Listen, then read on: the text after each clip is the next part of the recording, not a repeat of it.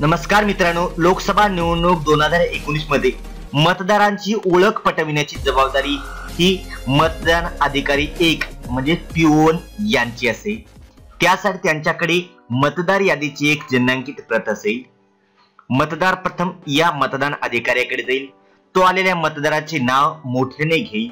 उपस्थित उमेदवारांच्या प्रतिनिधी त्या नावाबाबत काही आक्षेप घेतला आहे काय याची खात्री करेल.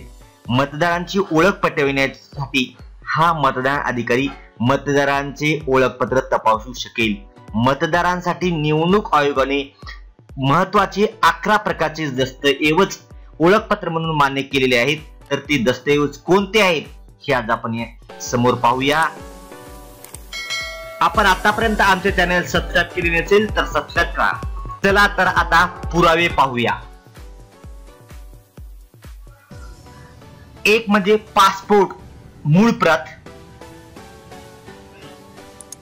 दोन वाहन चालविण्याची अनुज्ञप्ती. तीन आयकर ओळखपत्र. चार शासकीय निमशासकीय कर्मचारी कंपनी कामगार इत्यादींचे ओळखपत्र.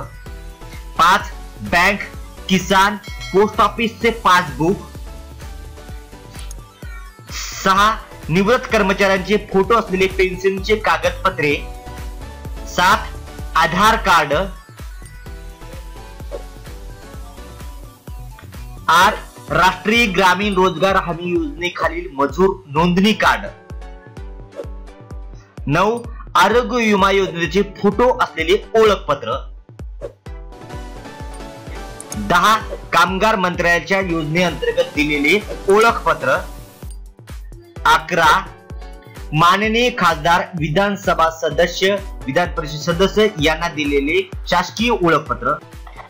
या निवडणुकीच्या अगोदर प्रत्येक मतदारांना मतदान केंद्रस्तरीय अधिकारी म्हणजेच बीएलओ यांच्याद्वारा वोटर स्लिप वाटप करण्यात आलेले आहे. त्या वोटर स्लिप ओळखपत्र म्हणून ग्राह्य धरण्यात येतील काय याबाबत माननीय भारत निवडणूक आयोगाच्या दिनांक अठ्ठावीस दोन दोन हजार एकोणीसच्या सूचनेनुसार फोटो वोटर स्लिप घेऊन येणाऱ्या मतदारास उपरोक्त पैकी एक ओळखीचा पुरावा सादर करणे अनिवार्य राहील. धन्यवाद.